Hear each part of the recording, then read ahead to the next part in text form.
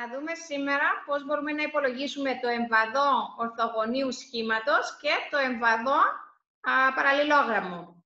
Εδώ έχουμε ένα ορθογώνιο, βλέπουμε αυτό εδώ το σχήμα, που έχει διαστάσεις 10 εκατοστά επί 5 εκατοστά. Το εμβαδόν του είναι βάση επί ύψος Δηλαδή έχουμε 10 επί 5. Αυτό θα μπει 50 τετραγωνικά εκατοστά. Θα δούμε σε λίγο τι θα μπει αυτό. Ας δούμε τώρα τι συμβαίνει αν μετακινήσουμε αυτό το τρίγωνο, αυτό το σχήμα εδώ. Άρα, είχαμε ένα ορθογώνιο και τώρα έχει γίνει παραλληλόγραμμο. Το εμβαδόν εξακολουθεί να είναι το ίδιο, δεν έχει αλλάξει κάτι. Για να βρούμε τώρα το εμβαδόν του παραλληλόγραμμου, κάνουμε το ίδιο ακριβώς που είχαμε κάνει πριν όταν ήταν ορθογώνιο. Θα πούμε βάση, που είναι 10, επί ύψος, που είναι 5, και το εμβαδόν αυτού εδώ του παραλληλόγραμμου είναι 10 επί 5, με συγχωρείτε, ίσον 50 τετραγωνικά εκατοστά. Όπως ακριβώς και το εμβαδόν του ορθογωνίου σχήματος που είχαμε πριν. Ας μεταφέρουμε τώρα πίσω αυτό εδώ το σχήμα.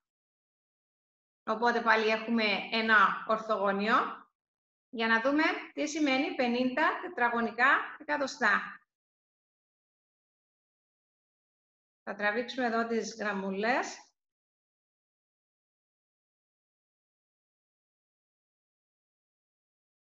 Έχουμε